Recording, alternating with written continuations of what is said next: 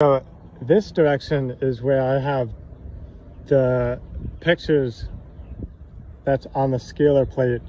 I have it also a little bit to the left. Our house around is around down that way towards the mountain. But look at this.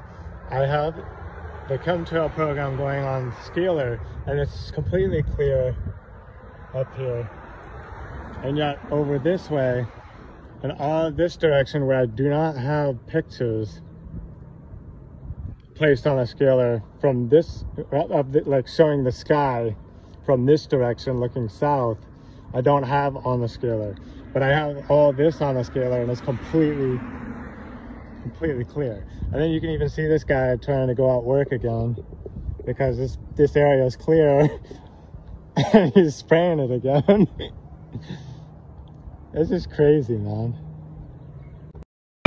Just waking up in the morning, gotta thank God.